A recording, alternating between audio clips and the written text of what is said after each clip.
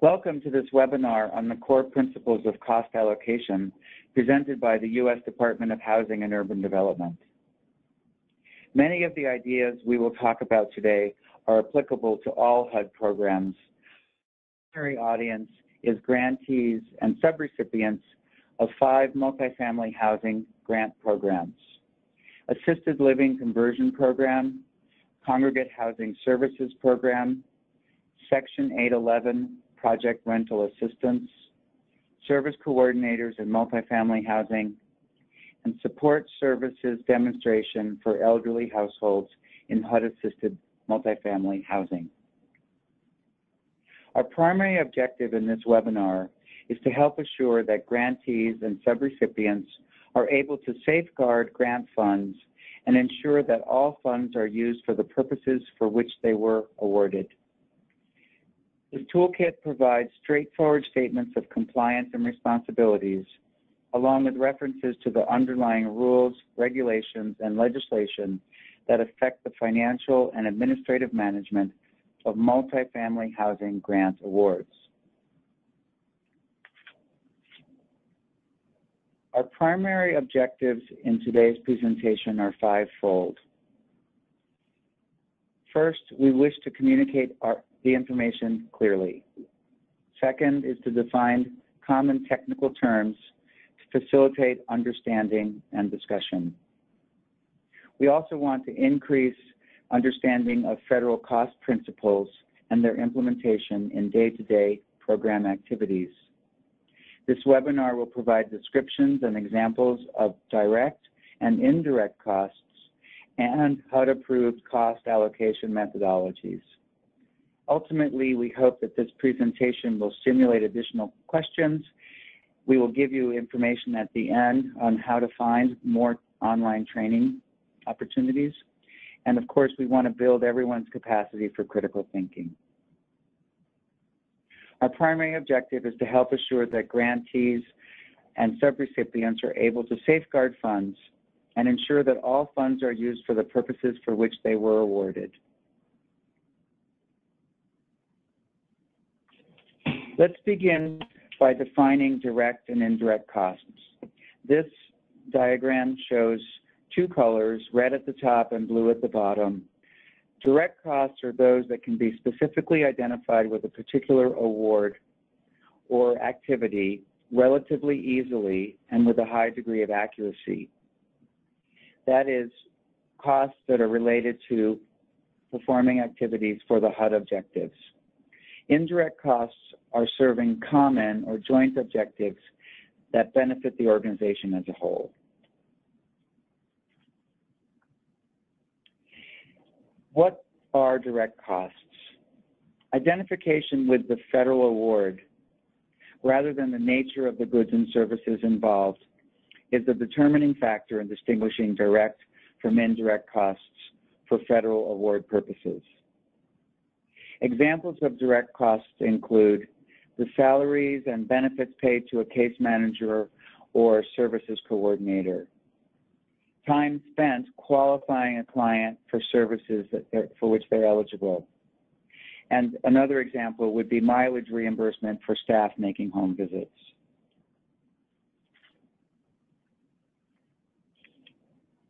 Examples of indirect costs include rent, utilities, insurance, maintenance, and other expenditures related to shared space.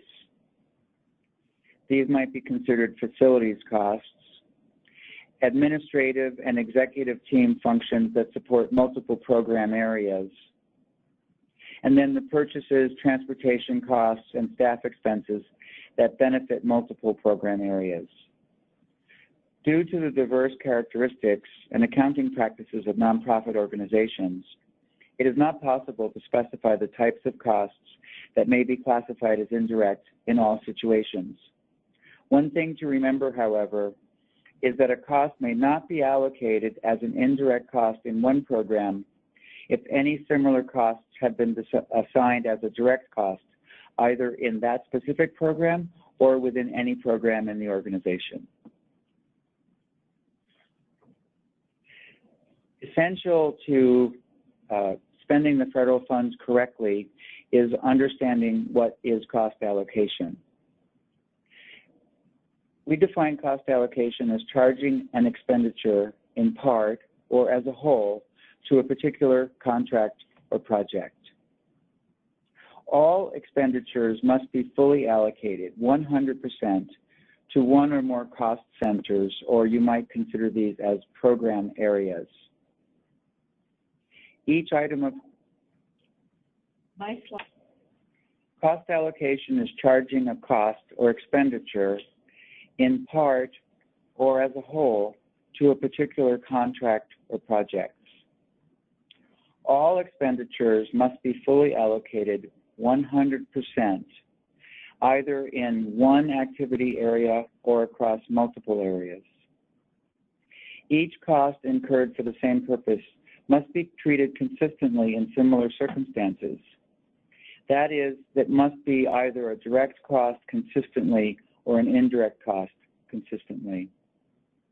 And it's always important to remember that federal cost allocation guidelines apply to all expenditures across the agency budget, not just for the HUD programs.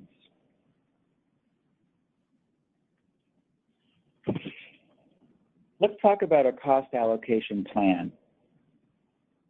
Costs that are shared between programs within an agency must be allocated to those programs in accordance with their relative benefit, agency policies, and also generally accepted accounting principles. Later on, we'll talk more about 2 CFR Part 200, which guides the, the accounting for all federal expenses. Subpart 405 describes the principles that should be applied when dividing up shared costs. Different cost types may be divided using different methods, which should be, first of all, spelled out clearly, reasonable for the cost type and program environment in which the agency is operating, and followed consistently. In addition, we suggest that these cost allocation guidelines be reassessed annually as part of the agency's budget development process because as costs change, the allocation plan may also change.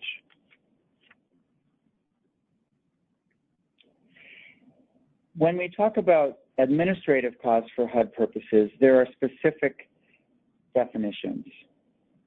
Because HUD programs have specific limits on the amounts of funds spent on grant administration, separating program costs from administrative costs is essential for financial management compliance. Administrative costs in general include overall program management, budgeting, coordination, monitoring, reporting, and evaluation. This includes the salaries and benefits for personnel engaged in these activities, as well as the cost of administrative services performed under third-party contracts or agreements, including such activities as general legal services, accounting services, and financial audits.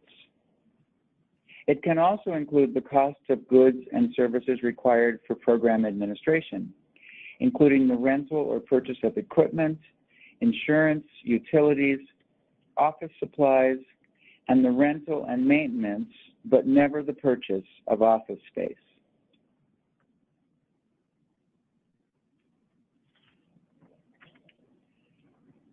We also wanted to talk briefly about the methods for allocating indirect costs.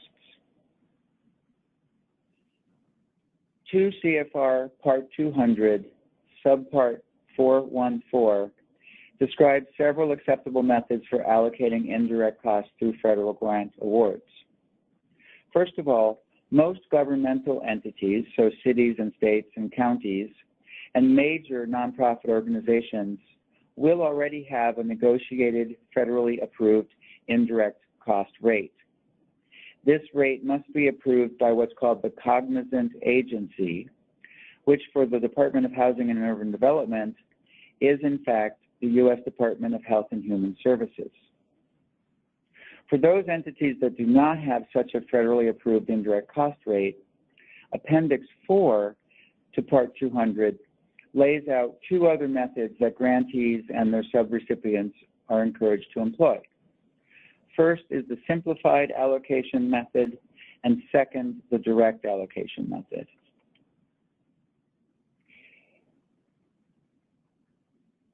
To use the simplified allocation method, um, the major functions of an organization must benefit to approximately the same degree across the entity's activities, or it can be employed when an organization has only one major function with a number of individual projects and activities.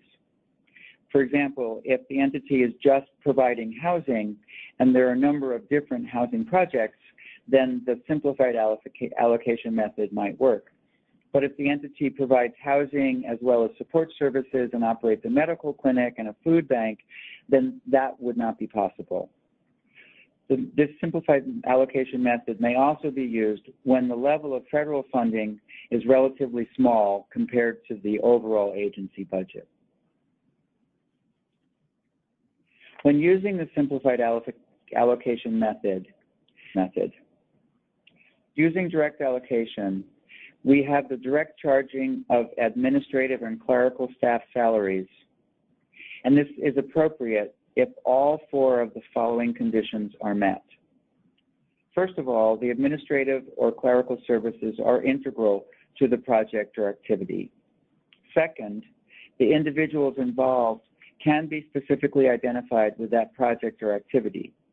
And typically, we would look to identify those staff members through their job descriptions as well as through their timesheets or other methods of recording their activity. Third, such costs are explicitly included in the budget or have the prior written approval of the federal awarding agency. And finally, these costs are not also being recovered as indirect costs. Each cost must be prorated using a base that accurately measures the benefit provided to each federal award or other activity. The bases must be established in accordance with reasonable criteria and be supported by current data. Further, they should be in compliance with generally accepted accounting principles. Using this method, all costs are limited to three categories. Program activities, including those paid for by federal grants, management functions and general expenses, which we call management in general or M&G, and fundraising, which under the OMB regulations is never eligible for HUD reimbursement. OMB here stands for the Office of Management and Budget. The prorated indirect costs are treated as if they were direct costs and are assigned to one of the categories above using an allocation strategy appropriate to each particular cost type. Detailed instructions for implementing an item-by-item -item methodology are contained in the grantee's cost allocation plan.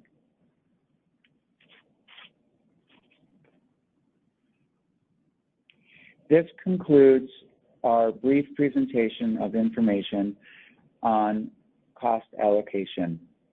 The, the, final slide will indicate some additional resources that you can find on the HUD Exchange website, both on cost allocation as well as on other topics within the financial management and accounting sector. Thank you very much for your participation.